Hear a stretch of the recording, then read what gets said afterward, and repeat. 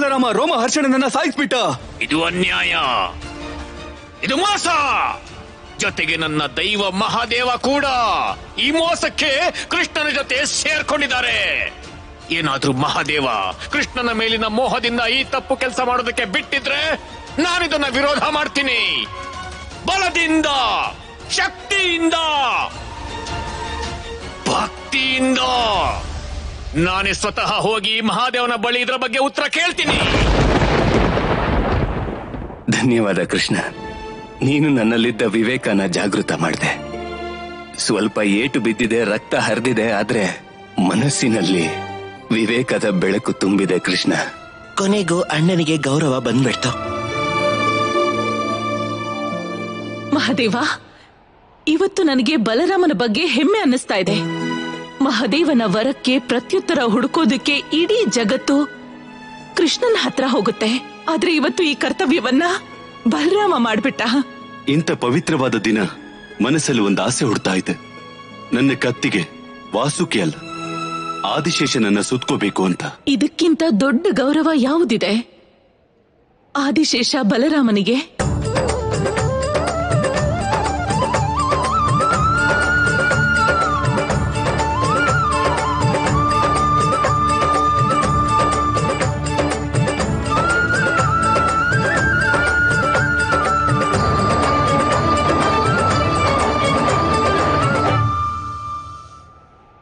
ಗೊತ್ತಿತ್ತಲ್ವಾ ನಿನಗೆ? ಮತ್ತಣ್ಣ ಪೆಟ್ ತಿನ್ನೋಕೆ ಯಾಕೆ ಬಿಟ್ಟೆ? ಅದೇನು ಅಂದ್ರೆ ಯಾವಾಗ್ಲಾದ್ರೂ ಮನುಷ್ಯನ್ಗೆ ಏಟ್ ಬಿದ್ದಾಗ ಅಥವಾ ನೋವಾದಾಗ ಬುದ್ಧಿ ಚುರುಕಾಗತ್ತೆ. ಅದಕ್ಕೆ ನಾನೇನ್ ಅನ್ಕೊಂಡೆ ಅಣ್ಣನ್ಗೆ ಸ್ವಲ್ಪ ಏಟಾಗ್ಲಿ ನೋವಾಗ್ಲಿ ಅಂತ ಅಲ್ವಾ? ಹ್ಮ್ ಏನೋ ಒಂದ್ ಹೇಳ್ತಿರ್ತ್ಯ? ಅಲ್ ನೋಡು ಎಷ್ಟ್ ಏಟಾಗಿದೆ ಅಣ್ಣನ್ಗೆ? ಆದ್ರೆ ನಾನು ಏನ್ ಮಾಡೋಕ್ಕಾಗತ್ತೆ ಹೇಳು. ಈಗ ಅಣ್ಣನ್ ಬುದ್ಧಿ ಸ್ವಲ್ಪ ಮಂದ ಇದೆ. ಅದ್ ಎಚ್ಚರ ಆಗೋದಕ್ ತಡ ಆಗತ್ತೆ. ಅದ್ರಲ್ಲಿ ನನ್ ತಪ್ಪೇನಿದೆ ಹೇಳು. ತಮಾಷೆ ಮಾಡ್ತಿದ್ಯಾ ಅಲ್ವಾ? ಇಲ್ ಕೇಳು. ಮುಂದಿನ ಸಲ ಅಣ್ಣನ್ಗೆ ಸ್ವಲ್ಪನೂ ಗಾಯ ಆಗ್ಬಾರ್ದು. ಸರಿ ಬಿಡು. ಸಖಿಯ ಇಚ್ಛೆ. ಆದೇಶ ಅನ್ಕೊಂಡೆ ಇದನ್ನ ಪಾಲನೆ ಮಾಡು. ಅಣ್ಣಂಗೆ ಸ್ವಲ್ಪ ನೋವಾದ್ರೂ ನಾನದನ್ನ ಸಹಿಸೋದಿಲ್ಲ. ಆಗ್ಬಹುದು.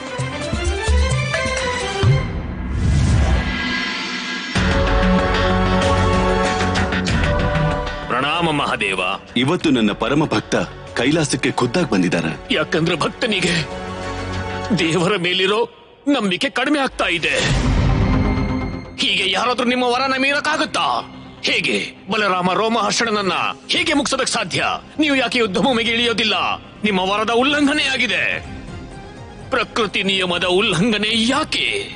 ಶುಕ್ರಾಚಾರ್ಯ ತ್ರಿಮೂರ್ತಿಗಳಿಗೆ ಅವರ ಸಂಕಲ್ಪ ಬಹಳ ಚೆನ್ನಾಗಿ ಗೊತ್ತಿದೆ. ಹಾಗೆ ಆ ಸಂಕಲ್ಪ ಏನಂದ್ರೆ ಸೃಷ್ಟಿಯ ನಿಯಮಗಳನ್ನ ಕಾಪಾಡೋದು. ಹಾಗೆ ನಾನು ನನ್ನ ಕರ್ತವ್ಯನ ಚೆನ್ನಾಗಿ ಮಾಡ್ತಾ ಇದ್ದೀನಿ. ಹಾಗೆ ನೀವು ನನ್ನ ಮೇಲೆ ಆರೋಪ ಮಾಡೋದಕ್ಕೂ ಮೊದಲು ಎಚ್ಚೆತ್ಕೊಳ್ಳಿ. ಯಾಕಂದ್ರೆ ನಾನು ವರ ಕೊಡ್ತೀನಿ ಅಂದ್ಮೇಲೆ ನಶ್ವರ ಕೂಡ ಮಾಡಬಲ್ಲೆ. ನಾನು ನಿಮ್ಮ ಮೇಲೆ ಆರೋಪ ಮಾಡೋದಕ್ ಬಂದಿಲ್ಲ. ಉತ್ತರ ಕೇಳೋದಕ್ ಬಂದಿದ್ದೀನಿ. ಯಾವುದೇ ವರ ಈ ರೀತಿ ಮೂರ್ಖತನದಿಂದ ಕೋಪದಲ್ಲಿ ಅಹಂಕಾರದಲ್ಲಿ ಕೇಳ್ಕೋಬಾರ್ದು. ನಮ್ರತೆಯಿಂದ ವಿನಯವಾಗಿ ಕೇಳ್ಕೋಬೇಕು. ಆಯ್ತು ಮಹಾದೇವ. ನಾನು ವಿನಮ್ರತೆಯನ್ನು ನಿಮ್ಮ ಹತ್ರ ಬೇಡ್ಕೋತಾ ಇದ್ದೀನಿ. ನನಗೆ ಉತ್ತರ ಕೊಡಿ ಮಹಾದೇವ. ಆಗಬಹುದು. ನನ್ನ ವರ ವಿಫಲವಾಗಿಲ್ಲ. ಬಲರಾಮ ಏನ್ ಮಾಡಿದಾನೋ ಅದು ನಿಯಮಬದ್ಧವಾದ್ದೆ. ಹೇಗೆ ಮಹಾದೇವ? ನೆನಪು ಮಾಡ್ಕೊಳ್ಳಿ ನಾನು ಕೊಟ್ಟ ವರ ಏನು? ನಾನು ನಿಮ್ಮನ್ ಕೇಳೋ ವರ ಮಹಾದೇವ ಶಸ್ತ್ರದಿಂದ ಬಲದಿಂದ ದೇಹದಿಂದ ಮೋಸದಿಂದ ಬಲರಾಮ ನನ್ನನ್ನು ಕೊಲ್ಲೋದಿಕ್ಕಾಗ್ಬಾರ್ದು. ಕಥಾಸ್ತು ಮತ್ತೆ ಹಾಗೆ ನಡೀತು ಕೂಡ. ಬಲರಾಮ ರೋಮಹರ್ಷಣನ್ನ ನಿಯಮಬದ್ಧವಾಗಿ ದ್ವಂದ್ವ ಯುದ್ಧದಲ್ಲಿ ಸೋಲ್ಸಿದಾನೆ. ಯಾವುದೇ ಮೋಸದಿಂದ ಅಲ್ಲ ದೇಹದಿಂದ, ಅರ್ಥಾತ್ ಕೈ, ಕಾಲು ಅಥವಾ ತಲೆಯ ಯಾವ ಭಾಗದಿಂದಾನೂ ಹೊಡೆದಿಲ್ಲ. ಯಾವ ಶಸ್ತ್ರದ ಪ್ರಯೋಗನೂ ಮಾಡಿಲ್ಲ. ಬದಲಾಗಿ ಹುಲ್ಲಿನ ಒಂದು ತುಂಡಿನಿಂದ ಅವನನ್ನ ಹೊಡೆದ. ಶುಕ್ರಾಚಾರ್ಯ, ಸತ್ಯ ಏನು ಅಂದ್ರೆ ನೀವು ಕೃಷ್ಣನ್ನ ಸೋಲ್ಸೋಕೆ ಸಾಧ್ಯ ಇಲ್ಲ.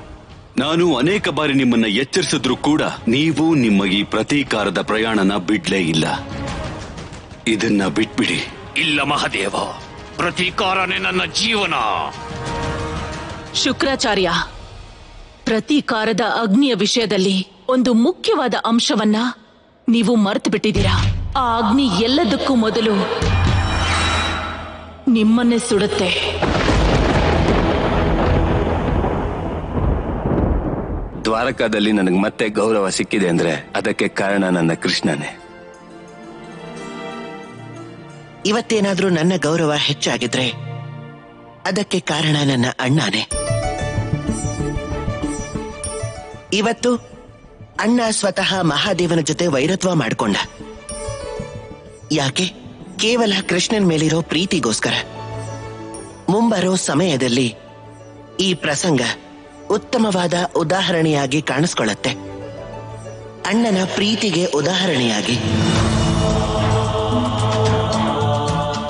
ಆಗ ಜಗತ್ತೇ ಹೇಳುತ್ತೆ, ಅಣ್ಣನ ಪ್ರೀತಿ ಅಂದ್ರೆ ಹೀಗಿರಬೇಕು ಅಂತ. ಇಲ್ಲ ಅಂದ್ರೆ ಖಂಡಿತ ಇರೋದಿಲ್ಲ.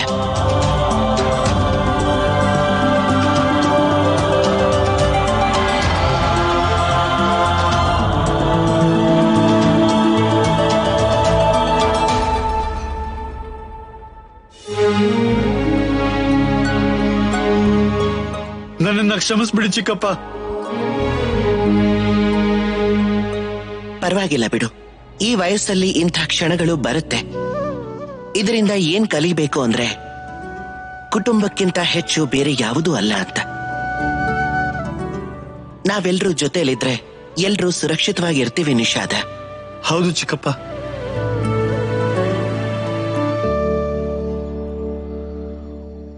ನನ್ ಕಡೆ ಯಾಕೆ ನೋಡ್ತಿದ್ಯಾ? ಈಗ ನಿಮ್ಮ ಚಿಕ್ಕಪ್ಪ ಶ್ರೀ ಕೃಷ್ಣನೇ ಕ್ಷಮಿಸಿದ್ದಾರೆ ಅಂದ್ಮೇಲೆ ನಾನೇನ್ ಹೇಳಕ್ಕಾಗತ್ತೆ? ಹೋಗು ನಿಷಾದ. ಕ್ಷಮ್ಸಿದೀನಿ ಕ್ಷಮಿಸಿದ್ದೀನಿ, ಆದ್ರೆ ನಿಮ್ಮ ಚಿಕ್ಕಪ್ಪನ ಮಾತನ್ನ ಸದಾ ನೆನ್ಪಿಟ್ಕೋ. ಸರಿ ಪಿತಾಶ್ರೀ.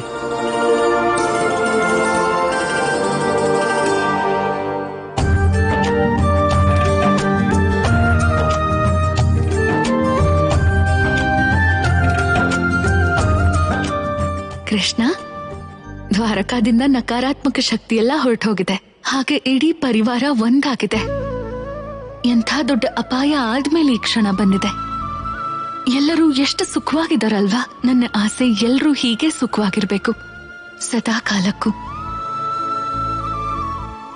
ಸದಾ ಕಾಲದ ಬಗ್ಗೆ ನನಗ್ ಗೊತ್ತಿಲ್ಲ. ಆದ್ರೆ ಒಂದಂತೂ ನಿಜ. ಈ ಕ್ಷಣದ ಆನಂದವನ್ನ ಪಡ್ಕೋಬೇಕು.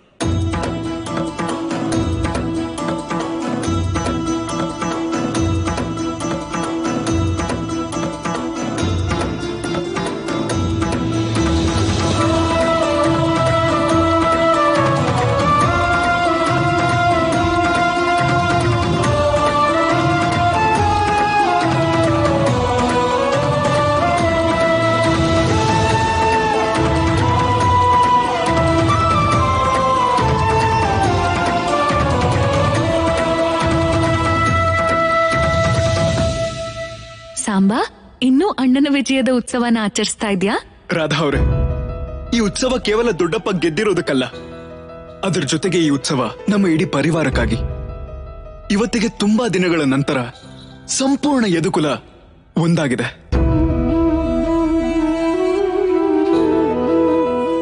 ಸತ್ಯ ಹೇಳ್ದೆ ಸಾಂಬಾ ಪರಿವಾರದ ಸದಸ್ಯರ ಮಧ್ಯೆ ಎಷ್ಟು ಸಮಸ್ಯೆ ಬೇಕಾದ್ರೂ ಇರ್ಲಿ ಆದ್ರೆ ಯಾವ ಪರಿವಾರ ಕಷ್ಟದ ಸಮಯದಲ್ಲಿ ಒಟ್ಟಾಗಿರುತ್ತೋ ಅದು ಯಾವತ್ತಿಗೂ ಒಡೆದೋಗಲ್ಲ.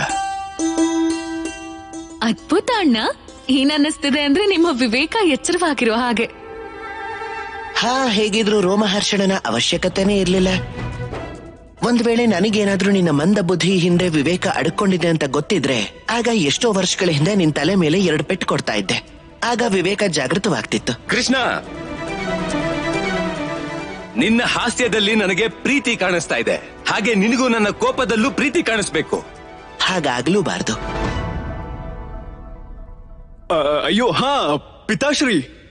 ಇವತ್ತು ಸಂಪೂರ್ಣ ದ್ವಾರಕಾದಲ್ಲಿ ದಾನ ಮಾಡೋಣ. ಇಡೀ ದ್ವಾರಕಾದಲ್ಲಿ ಇವತ್ತು ಹಾಲು ಮೊಸರು ತುಪ್ಪದ ಹೊಳೆ ಹಾರಿತಾ ಇರಬೇಕು. ಇವತ್ತು ಎಲ್ಲಾ ಕಡೆ ಎಲ್ರಿಗೂ ದಾನ ಕೊಡಬೇಕು. ನಾವು ಚಿನ್ನ ಕೊಡೋಣ ರತ್ನ ಕೊಡೋಣ ಅದು ಅಲ್ಲದೆ ಸಮಸ್ತ ದ್ವಾರಕಾದ ಜನಗಳಿಗೆ ರಾಜೋಪಚಾರ ಮತ್ತೆ ಒಳ್ಳೆ ವಸ್ತ್ರಗಳನ್ನು ಕೊಡೋಣ.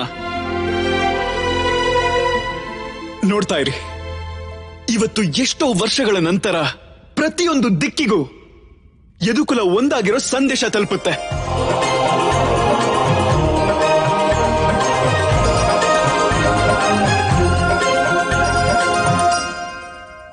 ಹಾಗೆ ಪಿತಾಶ್ರೀ, ಈ ಸಂಪೂರ್ಣ ಉತ್ಸವದ ವ್ಯವಸ್ಥೆ ನಾನ್ ಮಾಡ್ತೀನಿ.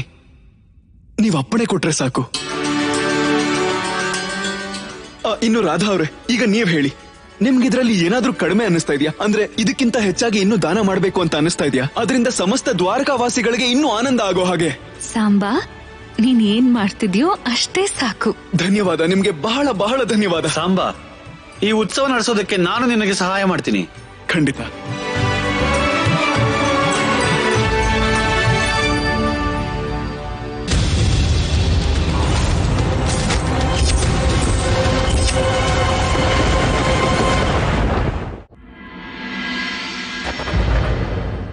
ಏನಾಯ್ತು ಕೃಷ್ಣ? ನೀನ್ ಯಾಕೆಷ್ಟು ಗಂಭೀರ ಅದೆ ಉತ್ಸವ ನಡೀತಿರೋದೇನೋ ಸರಿ ರಾಧಾ.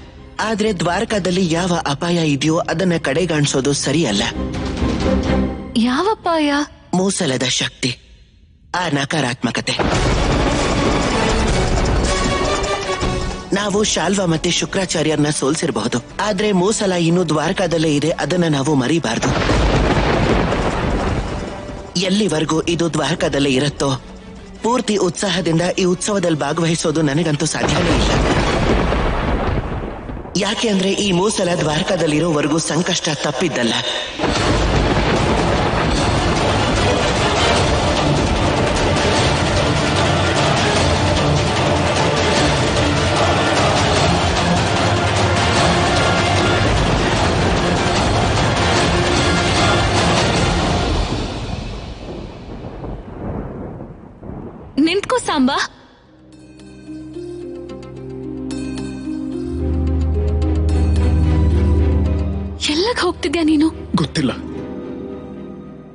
ನನ್ನಿಂದ ನಾನೇ ದೂರ ಹೋಗ್ಬೇಕು ಅಂತಿದ್ದೀನಿ. ನಿಂತ್ಕೋ. ಸಾಂಬಾ ಇಡೀ ಜಗತ್ತನ್ನೇ ನಿನ್ನ ಸುತ್ತಾಡಿದ್ರು. ಆಗ್ಲೂ ನಿನ್ನಿಂದ ನೀನ್ ದೂರ ಹೋಗೋಕ್ಕಾಗಲ್ಲ. ಹಾಗಾದ್ರೆ ಇವಾಗ ನೀವೇ ಹೇಳಿ. ನನ್ ಮಾಡ್ತೀನಿ ಅಂದ್ರೆ ಏನ್ ಮಾಡ್ಲಿ? ಈ ಮುಸಲಾನೆ ನನ್ನ ದೋಷಕ್ಕೆಲ್ಲ ಪ್ರತೀಕ. ನನ್ನ ನಕಾರಾತ್ಮಕತೆಯ ಉತ್ಪತ್ತಿ. ನನ್ನ ಕಾರಣದಿಂದಾನೇ ಇಂಥ ಸಂಕಷ್ಟ ದ್ವಾರಕಾಗ್ ಬಂದಿರೋದು. ಮತ್ತೆ ನನ್ನಿಂದಾನೇ ಪಿತಾಶ್ರೀ ಇಷ್ಟೊಂದು ಚಿಂತೆ ಮಾಡ್ತಿರೋದು. ಅದು ಅಲ್ಲದೆ ನಾನು ಎಷ್ಟೇ ಯೋಚನೆ ಮಾಡಿದ್ರು ಕೂಡ ನನಗೆ ಯಾವ ದಾರಿನೂ ಕಾಣಿಸ್ತಾ ಇಲ್ಲ. ಈಗ ನಾನು ಪಿತಾಶ್ರೀಯ ಈ ಚಿಂತೆನ ಹೇಗ್ ದೂರ ಮಾಡ್ಲಿ? ಸಾಂಬಾ, ನಿನ್ನ ಅಪರಾಧಗಳನ್ನ ಅರ್ಥಕೊಳ್ಳೋದೇ ಒಂದು ಅಪರೂಪವಾದ ಸುಧಾರಣೆ. ನಿನ್ನೊಳಗೆ ಈಗ ಕ್ರೂರತ್ವದ ಬದಲಾಗಿ ಒಳ್ಳೆತನ ಜಾಗೃತವಾಗ್ತಿದೆ. ದ್ವಾರಕ್ಕಾಗಿ ಇದಕ್ಕಿಂತ ಒಳ್ಳೇದು ಮತ್ತಿನ್ನೇನ್ ಬೇಕು? ನೀನೀಗ ತೀರ್ಮಾನ ಮಾಡ್ಕೋಬೇಕಾಗಿರೋದು ಮತ್ತೆ ಯಾವ ಕೆಟ್ಟ ಕೆಲ್ಸಾನು ಮಾಡಲ್ಲ ಅಂತ. ನೋಡ್ತಾ ಇರು, ಒಂದಲ್ಲ ಒಂದಾರಿ ದಾರಿ ತಾನಾಗೆ ಸಿಗುತ್ತೆ. ದುಃಖ ಪಡ್ಬೇಡ ನೀನು. ರಾಧಾ ಅವರು ಇಲ್ಲಿದ್ರೂ ಕೂಡ ಆಗ್ಲೂ ಪ್ರಳಯ ಆಗುತ್ತೆ. ರಾಧಾ ಅವರು ಎಲ್ರ ಸಾವಿಗೂ ಕಾರಣವಾಗ್ತಾರೆ. ಹಾಗೆ ಎಲ್ರ ಪ್ರಾಣನು ತೆಗೆದೇ ಹೋಗೋದು. ಎಲ್ಲಿವರೆಗೂ ನಾನು ನಿಮ್ಮನ್ನ ಅಂತ್ಯಗೊಳಿಸೋದಿಲ್ವೋ? ಅಲ್ಲಿವರೆಗೂ ಕೃಷ್ಣ ನನ್ನ ಜೊತೆ ಯುದ್ಧ ಮಾಡೋದಿಲ್ಲ.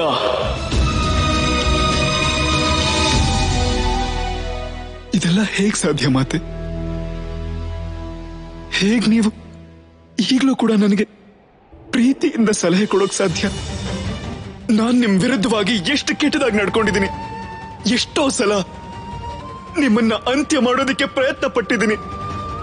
ಆದ್ರೂ ಕೂಡ ನೀವು ನನಗೆ ಇಷ್ಟು ಪ್ರೀತಿಯಿಂದ ಸಲಹೆ ಕೊಡ್ತಿದ್ದೀರಾ?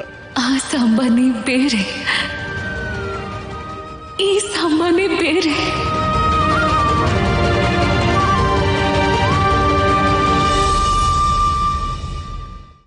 ಈ ಸಾಂಬ ಬೇರೆ ಆಗಿದ್ರೆ ಸರಿ ಹಾಗಾದ್ರೆ, ಈ ಮುಸಲ ಪರ್ವನ ನಾನೇ ಆರಂಭ ಮಾಡಿರೋದು. ಈಗ ಇದನ್ನ ಅಂತ್ಯಗೊಳಿಸೋದು ನಾನೇ. ಒಂದ್ ವೇಳೆ ನನ್ನ ಕಾರಣದಿಂದಾನೆ ಈ ಸಂಕಷ್ಟ ದ್ವಾರಕಾಗ್ ಬಂದಿರೋದಾದ್ರೆ, ಈ ಸಂಕಷ್ಟನ ಈಗ ನಾನೇ ಬಗೆಹರಿಸ್ತೀನಿ. ನಾನು ವಾಸುದೇವ ಶ್ರೀ ಕೃಷ್ಣನ ಮಗ ಹಾಗೂ ಮಹಾದೇವನ ಅಂಶ ಸಾಂಬ. ಈಗ ಸಂಕಲ್ಪ ಮಾಡ್ತಿದ್ದೀನಿ. ಎಲ್ಲಿವರೆಗೂ ನಾನು ಮುಸಲವನ್ನ ನಾಶ ಮಾಡೋದಿಲ್ವೋ? ಹಾಗೆ ದ್ವಾರಕಾನ ಸಂಪೂರ್ಣವಾಗಿ ರಕ್ಷಣೆ ಮಾಡೋದಿಲ್ವೋ? ಅಲ್ಲಿವರೆಗೂ ನಾನು ಮಹಾದೇವನ ತಪಸ್ಸನ್ನ ಮಾಡ್ತಾನೆ ಇರ್ತೀನಿ. ಒಂದ್ ವೇಳೆ ಇದಕ್ಕೆ ನನ್ನ ಪ್ರಾಣ ಕೊಡ್ಬೇಕಾಗಿ ಬಂದ್ರು ನಾನು ನನ್ನ ಪ್ರಾಣನ ಕೊಡ್ತೀನಿ. ಮತ್ತೆ ಅದಾದ ಮೇಲೆ ನಾನು ನನ್ನ ಪಾಪಗಳಿಗೆ ಪ್ರಾಯಶ್ಚಿತ ಮಾಡ್ಕೋತೀನಿ.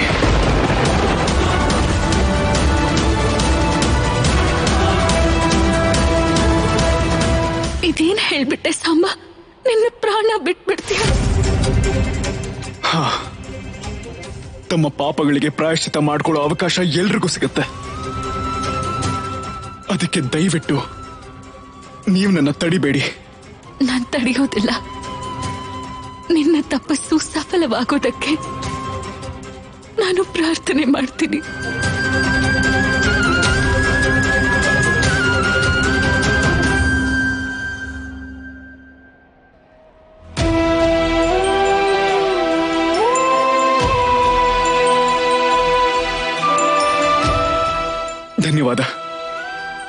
ನನಗೆ ಅಪ್ಪಣೆ ಕೊಡಿ.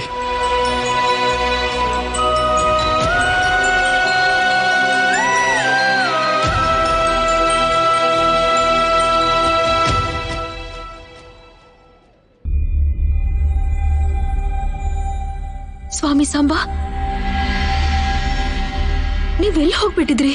ಲಕ್ಷ್ಮಣ ನಾನೊಂದು ವಿಚಿತ್ರವಾದ ಗೊಂದಲದಲ್ಲಿದ್ದೆ. ಅದೀಗ ಒಂದು ನಿರ್ಧಾರವಾಗಿ ಬದಲಾಗಿದೆ. ನಿರ್ಧಾರ? ಯಾವ ನಿರ್ಧಾರ ನನ್ನ ತಂದೆ ಮಹಾದೇವನ ತಪಸ್ಸು ಮಾಡಿ ನನ್ನನ್ನ ಪ್ರಾಪ್ತಿಸ್ಕೊಂಡ್ರು. ಈಗ ಅದಕ್ಕೋಸ್ಕರನೇ ನಾನು ಮಹಾದೇವನ ತಪಸ್ಸು ಮಾಡಿ ನನ್ನ ತಂದೆಯ ದುಃಖನ ಕೊನೆ ಮಾಡ್ತೀನಿ. ಆ ಮುಸಲನ ಕೊನೆಗೊಳಿಸ್ತೀನಿ.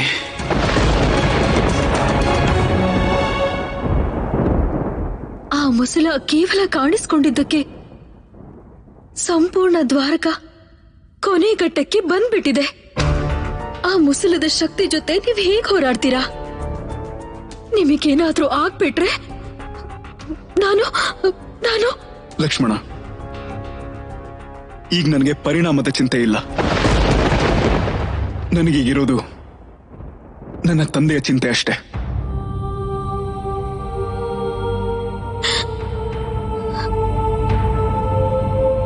ಲಕ್ಷ್ಮಣ ಗಂಡ ಹೆಂಡತಿ ಜೀವನದ ಪ್ರತಿ ಕಾರ್ಯದಲ್ಲೂ ಒಟ್ಟಾಗಿರ್ತಾರೆ. ಮತ್ತೆ ಅದಕ್ಕೋಸ್ಕರನೇ ಈ ಕೆಲಸ ಮಾಡೋದಕ್ಕೆ ನನಗೆ ನಿನ್ನ ಅಪ್ಪಣೆಯ ಅವಶ್ಯಕತೆ ಕೂಡ ಇದೆ. ಯಾಕಂದ್ರೆ ನನ್ನ ಪ್ರಾಣದ ಮೇಲೆ ನಿನಗೂ ಅಧಿಕಾರ ಇದೆ.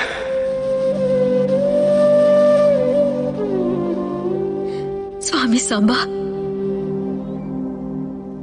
ಇವತ್ತು ನೀವು ಮೊದಲನೇ ಸಲ ನಿಮ್ಮ ಅರ್ಧಾಂಗಿ ಆಗಿರೋದಕ್ಕೆ ಅಧಿಕಾರ ಕೊಟ್ಟಿದ್ದೀರಾ? ಈ ಕೋರ್ಕೆನ ನಾನು ಹೇಗೆ ಒಪ್ತಾ ಇರೋಕ್ ಸಾಧ್ಯ? ಏನಾದ್ರೂ ನಾವು ಮಾಡಿರೋ ಅಪರಾಧಗಳಿಗೆ ಇದೇ ಬೆಲೆ ಆಗಿದ್ರೆ ಹಾಗೆ ಆಗ್ಲಿ. ನೀವು ನಿಮ್ ಕೆಲಸ ಮಾಡಿ, ನಾನು ನನ್ನ ಕೆಲಸ ಮಾಡ್ತೀನಿ.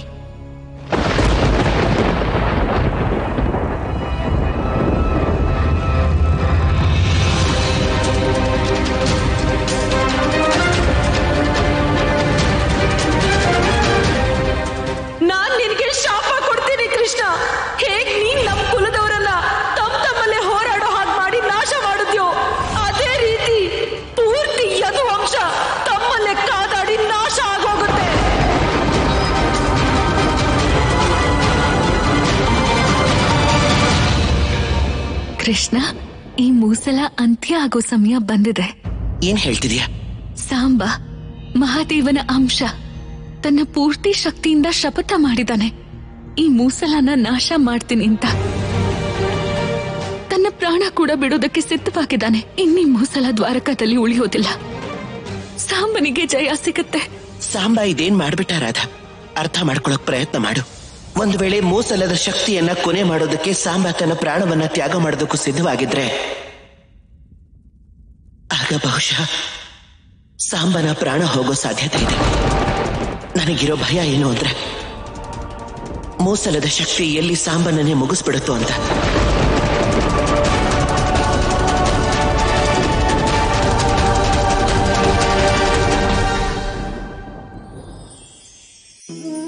ನಾನು ಎಷ್ಟೋ ತರಹದ ಮನುಷ್ಯರನ್ನ ನೋಡಿದ್ದೀನಿ.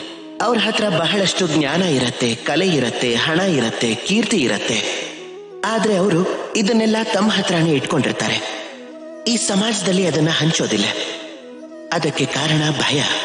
ಅವ್ರಿಗನ್ಸೋದೇನು ಅಂದ್ರೆ, ನಾನೇನಾದ್ರೂ ಇದನ್ನೆಲ್ಲ ಸಮಾಜಕ್ಕೆ ಹಂಚ್ಬಿಟ್ರೆ, ಆಗ ಈ ಸಮಾಜ ನನ್ನ ಕಲೆಯನ್ನ, ಹಣವನ್ನ, ಕೀರ್ತಿಯನ್ನ, ಜ್ಞಾನವನ್ನ ಎಲ್ಲವನ್ನು ಕದ್ಕೊಂಡು ಹೊರಟೋಗತ್ತೆ. ಅದಕ್ಕೆ ಬದಲಾಗಿ ನನಗೇನು ಕೊಡೋದಿಲ್ಲ ಅಂತ. ಇದು ಸತ್ಯ ಅಲ್ಲ. ಸತ್ಯ ಏನು ಅಂದ್ರೆ ನೀವು ನಿಮ್ಮನ್ನ ಈ ಸಮಾಜಕ್ಕೆ ಸಮರ್ಪಣೆ ಮಾಡಿಕೊಂಡ್ರೆ. ಆಗ ಈ ಸಮಾಜ ಕೂಡ ನಿಮಗೆ ಸಮರ್ಪಣೆ ಮಾಡಿಕೊಳ್ಳುತ್ತೆ. ನಿಮಗೆ ಕೇವಲ ಜ್ಞಾನ, ಕೀರ್ತಿ, ಹಣ, ಗೌರವ ಅಷ್ಟೇ ಸಿಗೋದಿಲ್ಲ. ಅದಕ್ಕೆ ಬದಲಾಗಿ ಈ ಸಮಾಜ ನಿಮ್ಮನ್ನ ಕಣ್ಣಲ್ಲಿಟ್ಕೊಳ್ಳುತ್ತೆ. ಹೃದಯದಲ್ಲಿ ಸ್ಥಾನ ಕೊಡುತ್ತೆ. ಅದಕ್ಕೆ ಈ ಭಯವನ್ನ ಬಿಟ್ಟು ನೋಡಿ ಹೇಗೆ ಈ ಸಮಾಜ ನಿಮಗೆ ಪ್ರೀತಿ ಸಮರ್ಪಣೆ ಮಾಡುತ್ತೆ ಅಂತ. ಬನ್ನಿ ನನ್ನ ಜೊತೆ ಇದೇ ಪ್ರೀತಿಯಿಂದ ಹೇಳಿ. ರಾಧೆ ರಾಧೆ. ಮಹಾದೇವ ಪ್ರತ್ಯಕ್ಷರಾಗಿ. ಇಲ್ಲ ಅಂದ್ರೆ ನನ್ನ ಪ್ರಾಣ ನಿಮ್ಗೆ ಸಮರ್ಪಣೆ ಆಗತ್ತೆ. ಶ್ರೀಕೃಷ್ಣ ನೀವು ಸ್ವಾಮಿ ಸಾಂಬನನ್ನ ಕಾಪಾಡಿ. ಇಲ್ಲ ಅಂದ್ರೆ ನಾನು ನನ್ನ ಪ್ರಾಣ ಬಿಡ್ತೀನಿ. ಇದೆಂಥ ಸಮಯ? ಕೃಷ್ಣ ತನ್ನ ಮಗನ ವಿಚಾರದಲ್ಲೇ ಅಸಹಾಯಕನಾಗಿ ನಿಂತಿದ್ದಾನೆ. ಒಂದ್ ವೇಳೆ ಕೃಷ್ಣನೇ ಸಹಾಯ ಮಾಡದೆ ಹೋದ್ರೆ ಇನ್ಯಾರು ಮಾಡ್ತಾರೆ? ಆದಿ ಅಸ್ತ್ರದ ಆವಾಹನೆ ಮಾಡ್ತೀನಿ ನಾನು. ಈಗ ಸಾಂಬ ಅಥವಾ ಬಲರಾಮ ಒಬ್ಬರ ಅಂತ್ಯ ಅಂತೂ ಖಂಡಿತ.